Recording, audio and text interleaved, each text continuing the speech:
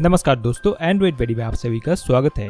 आज हम लोग करने वाले हैं सैमसंग गैलेक्सी A50s और Realme XT के बीच में एक कैमरा कंपैरिजन ये एक डिटेल कैमरा कंपैरिजन है, लेकिन यहाँ पे मैंने 48 और 64 मेगापिक्सल का कैमरा कंपैरिजन नहीं किया है, क्योंकि उसका एक मैंने डिटेल में अलग से वीडियो बनाया है। वहाँ पे बहुत सारे फ़ोटो सैंपल्स दिखाया है और वहाँ पे क्या कुछ डिफरेंसेस है, वो भी मैंने यहाँ पे दिखाया है। तो उस वीडियो को चाहे तो आप देख सकते हैं लिंक डिस्क्रिप्शन में आपको मिल जाएगा। और चलिए शुरू करते हैं ये वीडियो। और शुरू करने से पहले कैमरा स्पेक्स आप लोग बता देते हैं। Realme XT में आप लोगों को देखने मिलता है क्वाड कैमरा सेटअप जिसका मेन सेंसर है सैमसंग का G W one ISOCELL sensor जो कि 64 मेगापिक्सल का सेंसर है, जिसका अपर्चर है एफ़ वन साथ ही में आप लोग को एक वाइड एंगल कैमरा मिलता है 8 मेगापिक्सल का, एक 2 मेगापिक्सल का डेप्थ सेंसर और 2 मेगापिक्सल का मैक्रो लेंस यहाँ पे देखने को मिल जाता है। वही अगर सैमसंग गैलेक्सी A50s को देखें तो यहाँ पे आप लोगों को देखने मिलता है ट्रिपल एयर कैमरा सेटअप जिसका मेन सेंसर है सोनी का आई एम एक्स जिसका अपर्चर है एफ़ टू पॉइंट ज़ीरो साथ में आप लोगों को एक वाइड एंगल कैमरा 8 मेगापिक्सल का और 5 मेगापिक्सल का डेप्थ सेंसर देखने को मिलता है। फ्रंट में आप लोगों को देखने को मिलता है रियलमी एक्सटी में 16 मेगापिक्सल का फ्रंट कैमरा और गैलेक्सी A50s में 32 मेगापिक्सल का फ्रंट कैमरा तो चलिए फटाफट फ़ोटो सैंपल्स और वीडियो सैंपल्स देख लेते हैं कैसे है। तो दोस्तों फ़र्स्ट फ़ोटो को अगर आप लोग देखेंगे first photo normal daylight में खींचा गया है और नॉर्मल डे लाइट में दोनों ही फ़ोन में काफ़ी अच्छे फ़ोटो आप लोग देख सकते हैं। बाई डिफ़ॉल्ट Realme XT में 16 मेगापिक्सल का फ़ोटो देखने को मिलेगा आपको और A50s में आपको 12 मेगापिक्सल का फ़ोटो देखने को मिलेगा। तो दोनों ही फ़ोटो काफ़ी अच्छा है, काफ़ी डिटेल देखने को मिल जाएँगे और कलर भी काफ़ी अच्छे हैं। हालाँकि Realme XT में देखेंगे तो यहाँ पे आप लोगों को थोड़े सैचुरेटेड कलर्स और थोड़े ब्राइट फ़ोटो देखने को मिलेंगे। लेकिन Galaxy A50s में जो कलर आप लोगों को दिख रहा है, ये मोर टुवर्ड्स नेचुरल कलर आप लोगों को यहाँ पे दिख रहा है। Realme XT में थोड़ा सैचुरेट कलर्स होता है, इसलिए थोड़ा सा अननेचुरल लगता है। फ़ोटो को जूम करने के बाद आप लोग देख सकते हैं यहाँ पे Realme XT में थोड़ा बेटर डिटेल देख रहा है कंपेयर टू Galaxy A50 पहले इसके टॉप में अगर आप लोग देखेंगे इस एरिया में, यहाँ पे आप लोग देख सकते हैं थोड़ा बेटर क्लैरिटी दिख रहा है, थोड़ा ब्राइट फ़ोटो होने के कारण यहाँ पे वही चीज़ ब्लैक हो गया है तो उतना क्लैरिटी यहाँ पे नहीं शो हो रहा है। Realme XT में आप लोग 5x तक डिजिटल जूम कर सकते हैं और ये 5x तक डिजिटल जूम करने के बाद फ़ोटो कैप्चर किया गया है तो क्वालिटी कैसा आप लोगों को मिलेगा, आप लोग देख सकते हैं। हालाँकि ये डिजिटल जूम है तो इसके बाद अगर आप लोग फ़ोटो को जूम करेंगे तो फ़ोटो फटेगा। ये कुछ और फ़ोटो सैंपल्स है नॉर्मल डे लाइट में खींचे गए, आप लोग देख सकते हैं साइड बाय साइड दोनों में से जो भी फ़ोटो आप लोगों को पसंद आ रहा है, वो आप प्रेफर कर सकते हैं। अगर आप लोगों को रेडी टू शेयर फ़ोटोज़ चाहिए जिसपे कलर्स थोड़े पंची हो तो आप लोग रियल मी के साथ जा सकते हैं। लेकिन अगर आप लोग नेचुरल कलर या फिर टूवर्ड्स नेचुरल कलर आप लोग क्लिक करना पसंद करते हैं तो यहाँ पे आप लोग सैमसंग गैलेक्सी A50 के साथ जा सकते हैं। दोनों में काफ़ी अच्छे फ़ोटो क्वालिटी देखने को मिलेगा, दोनों ही देखने में काफ़ी अच्छे लगते हैं। आपके हिसाब से कौन सा बेटर लग रहा है, नीचे आप कमेंट में कमेंट करना ना भूलें। साइड बाय साइड कुछ और फ़ोटो सैंपल्स आप लोग देख लीजिए खुद और खुद ही जज कर लीजिए फ़ोटो क्वालिटी ओवरऑल कैसा है।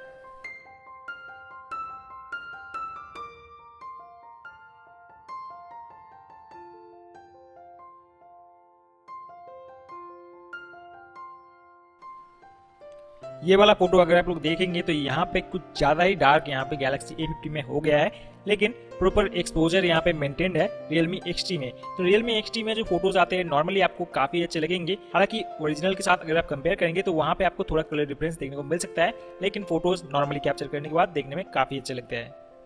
ये वाला फ़ोटो आप लोग देख सकते हैं, यहाँ पे एक डायनेमिक रेंज का कंपैरिजन दिखाया गया है। रियल मी एक्सटी में अगर आप लोग देखेंगे तो काफ़ी ब्राइट यहाँ पे शेडो एरिया हो गया है। यहाँ पे ट्री जो था ट्री भी काफ़ी ब्राइट हो गया है। लेकिन यहाँ पे गैलेक्सी एफ़ में अगर आप लोग देखेंगे, ये बास्केट भी काफ़ी डार्क है और ट्री भी पूरा ब्लैक कुछ भी नहीं दिख रहा है।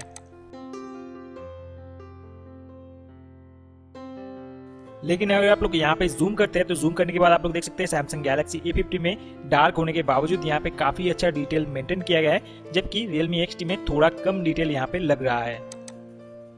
डायनेमिक रेंज दोनों ही फ़ोन का काफ़ी अच्छा है, लेकिन यहाँ पे Realme XT में शेडो एरिया में काफ़ी ज़्यादा ब्राइट कर देता है, जिसकी वजह से फ़ोटो थोड़ा सा अननेचुरल टाइप लगता है। इस फ़ोटो में जैसे आप लोग देख सकते हैं, पूरा ही फ़ोटो काफ़ी ज़्यादा ब्राइट है और शेडो और हाईलाइट दोनों में ही आप लोगों को डिटेल देखने को मिल जाएँगे। लेकिन एक्चुअल में जो फ़ोटो था, वो फ़ोटो कुछ इस तरह से था, यहाँ पे शेडो एरिया यानी कि बास्केट थोड़ा सा शेडो में था, लेकिन ये बाकी जो हाईलाइट एरिया था, यहाँ पे तो लाइट था ही। तो यहाँ पे इस फ़ोटो को देखेंगे तो मोर टूवर्ड नेचुरल देखने को लगता है, लेकिन यहाँ पे रियलमी एक्सटी में थोड़ा ज़्यादा अननेचुरल लग रहा है। एक दूसरा हाई डायनेमिक रेंज वाला फ़ोटो आप लोग देख सकते हैं। यहाँ पे भी अगर आप लोग देखेंगे एक्सटी में ट्री जो शेडो में था, वो भी काफ़ी ब्राइट हो गया है। लेकिन यहाँ पे गैलेक्सी ए में ट्री उतना ब्राइट नहीं हुआ है। लेकिन फ़ोटो को अगर आप लोग जूम करेंगे तो आप लोगों को कुछ इंटरेस्टिंग देखने को मिलेगा। फ़ोटो जूम करने के बाद जो यहाँ पे पेड़ का नाम लिखा गया था, वो देख सकते हैं यहाँ पे उतना क्लियर लिखा हुआ नहीं दिख रहा है। जो लिखावट था, वो थोड़ा ब्लरी हो गया है। लेकिन यहाँ पे गैलेक्सी ए में लिखावट उतना ब्लरी नहीं है और काफ़ी डिटेल यहाँ पे दिख रहा है। तो एच डी फ़ोटोज़ में आप लोगों ऐसे डिफरेंस देखने को मिल सकते हैं और पेड़ के यहाँ पे भी देख सकते हैं, थोड़ा कम डिटेल शो हो रहा है कंपेयर टू गैलेक्सी ए एक और एच डी आर फ़ोटो जिसमें आप लोग देख सकते हैं गैलेक्सी ए में थोड़ा शेडो एरिया थोड़ा सा ज़्यादा डार्क रह गया है, जबकि एक्स में यहाँ पे प्रॉपरली एक्सपोज है और स्काई भी प्रॉपरली एक्सपोज है। इस फ़ोटो में भी अगर आप लोग देखेंगे तो यहाँ पे भी शेडो एरिया काफ़ी ज़्यादा डार्क है कंपेयर टू रियलमी एक्स लेकिन इसको अगर जूम करते हैं तो जूम करने के बाद देख सकते हैं डिटेल यहाँ पे थोड़ा कम है।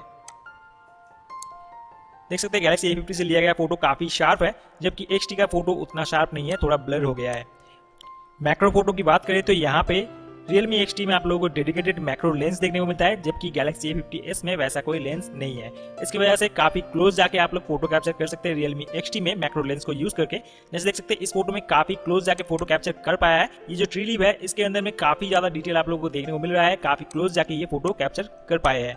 लेकिन गैलेक्सी ए में इससे ज़्यादा क्लोज आप नहीं जा सकते हैं, किसी भी क्लोज ऑब्जेक्ट का। और यहाँ पे अगर डिटेल देखेंगे तो यहाँ पे भी काफ़ी अच्छे डिटेल आप लोगों को देखने को मिल रहा है। हालाँकि यहाँ पे क्लोज अप शॉट या फिर मैक्रो शॉट वाला लेंस नहीं है, फिर भी आप लोग देख सकते हैं, यहाँ पे काफ़ी ज़्यादा बेटर डिटेल आप लोग को यहाँ पे ओवरऑल शो हो रहा है।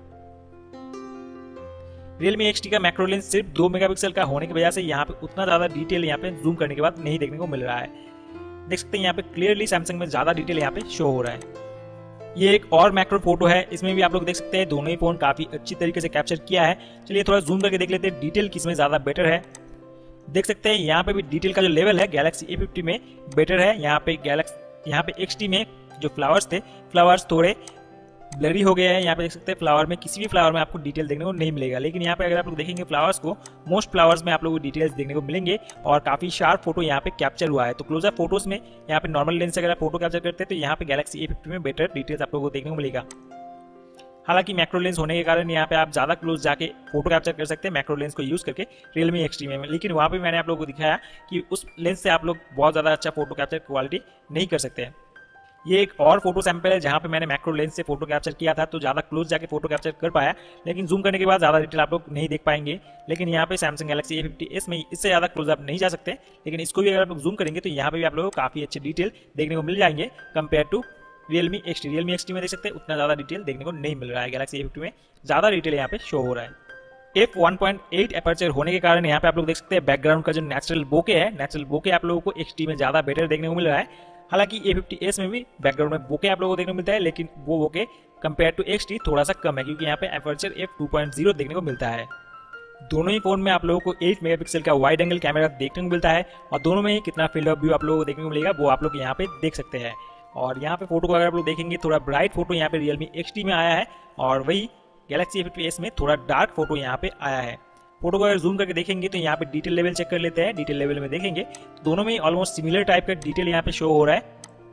हालाँकि इस फ़ोटो में देख सकते हैं गैलेक्सी E50 के कंपैरिजन में रियलमी XT में थोड़ा बेटर डिटेल यहाँ पे इस एरिया में शो हो रहा है। ये एक और वाइड एंगल फ़ोटो है, जैसे कि आप लोग देख सकते हैं, दोनों ही फ़ोन में काफ़ी अच्छे वाइड एंगल फ़ोटोज़ आप लोग कैप्चर कर सकते हैं। हालाँकि 8 मेगापिक्सल का होने की वजह से यहाँ पे नॉर्मल लेंस से आप लोगों को डिटेल थोड़ा सा कम देखने को मिलेगा। और देख सकते हैं ओवरऑल साइड बाय साइड देखने के बाद यहाँ पे मुझे जो लग रहा है, यहाँ पे Realme XT का वाइड एंगल थोड़ा बेटर डिटेल कैप्चर कर रहा है कंपेयर टू गैलेक्सी A50s आप लोगों को क्या लग रहा है, वो नीचे कमेंट करके ज़रूर बताएँ। ये कुछ और वाइड एंगल फ़ोटो सैंपल से आप लोग देख लीजिए और खुद ही जज कर लीजिए कि इसका क्वालिटी बेटर है।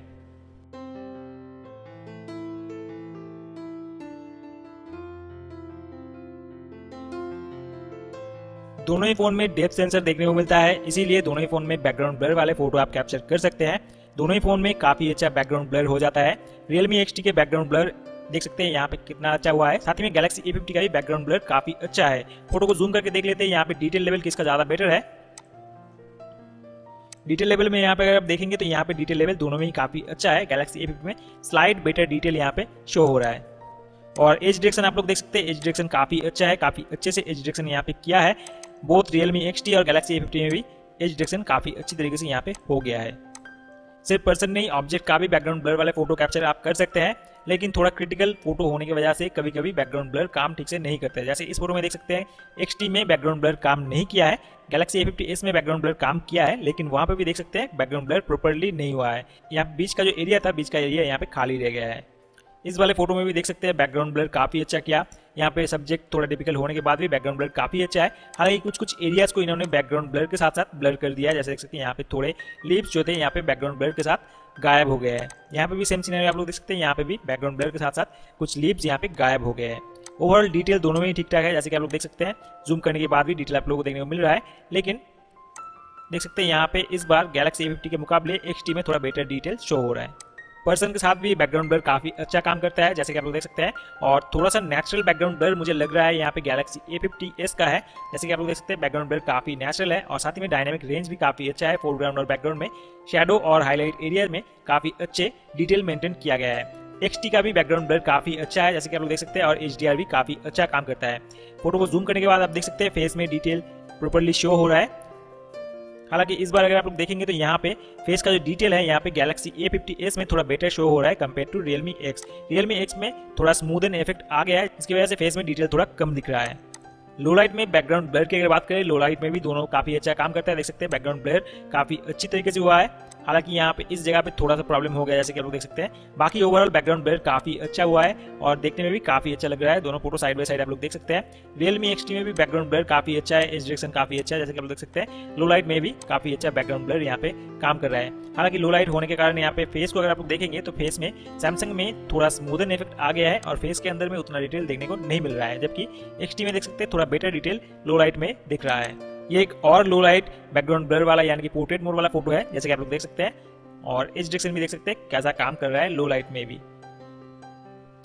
दोनों ही फ़ोन में आप लोगों को डेडिकेटेड नाइट मोड देखने को मिल जाता है और दोनों ही फ़ोन से नाइट मोड काफ़ी अच्छी तरीके से काम कर लेता है। नाइट होने के बाद भी यहाँ पे डार्क एरियाज़ में भी आप लोगों को डिटेल रिकवर करके ये नाइट मोड दे देगा। हालाँकि यहाँ पे नाइट मोड में जो कलर्स है रियलमी एक्सटी में थोड़े अजीब अजीब कलर्स दिखते हैं, जैसे यहाँ पे देख सकते हैं।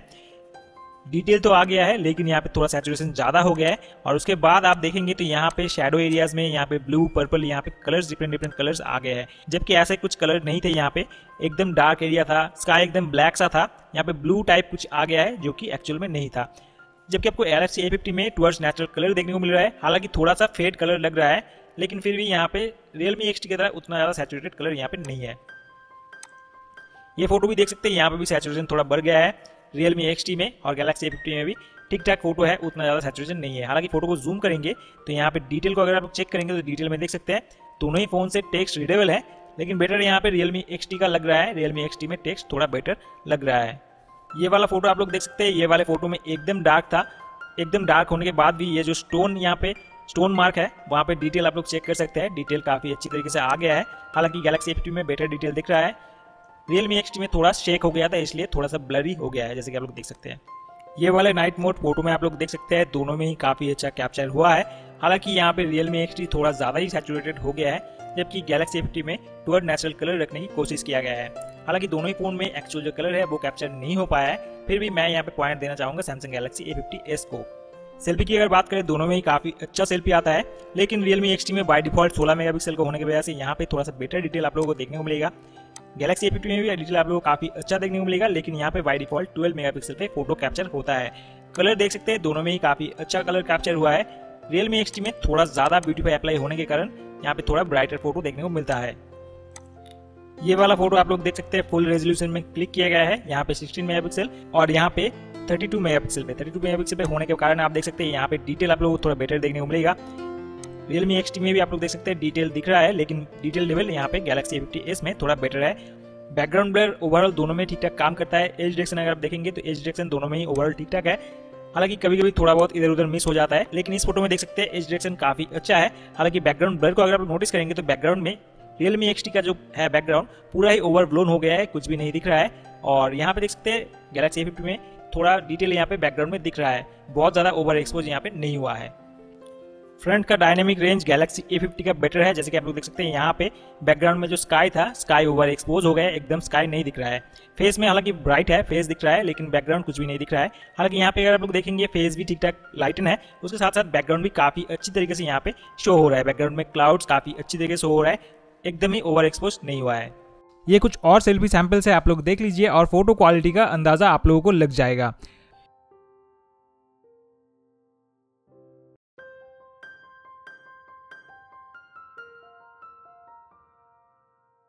वीडियो क्वालिटी की अगर बात करें, दोनों ही फ़ोन से आप लोगों को 4K वीडियो रिकॉर्डिंग का सपोर्ट देखने को मिल जाता है। 4K में 30 एफ़ से आप रियर कैमरे से रिकॉर्ड कर सकते हैं और 1080p में 60 एफ़ और 30 एफ़ का ऑप्शन आपको मिलेगा मी एक्स में, जबकि आप लोगों को सैमसंग में सिर्फ़ 30 एफ़ पी एस रिकॉर्ड का ऑप्शन देखने को मिलेगा। वीडियो क्वालिटी आप लोग देख सकते हैं कैसा है। वीडियो में, हालाँकि आप देख सकते हैं यहाँ पे सैमसंग में थोड़ा फोकस हंटिंग का इशू हो रहा है, जैसे कि आप लोग देख सकते हैं थोड़ा फोकस हंटिंग हो रहा है यहाँ पे, लेकिन XT में ऐसा कोई इशू नहीं है। वीडियो स्टेबिलाइजेशन कैसा है आप लोग देख लीजिए, मैं फ़ोन को हाथ में लेके वॉक कर रहा हूँ तो वीडियो स्टेबिलिटी का भी आप लोगों को अंदाज़ा हो जाएगा।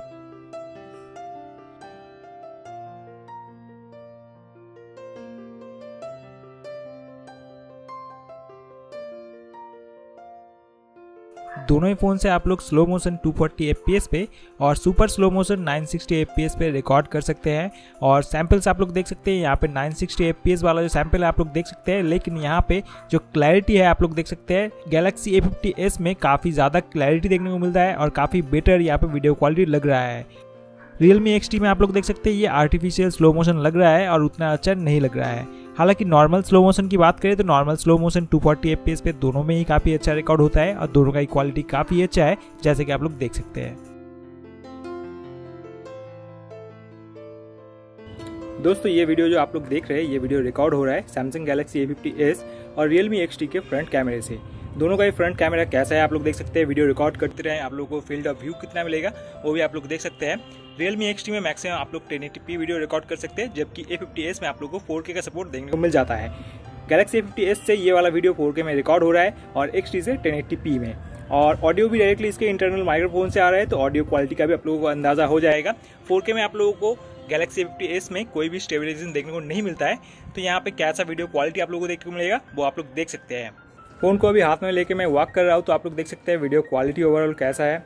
और ओवरऑल वीडियो क्वालिटी आप लोगों को कैसा मिलेगा स्टेबिलाईजेशन कैसा मिलेगा, वो सब आप सब देख सकते हैं।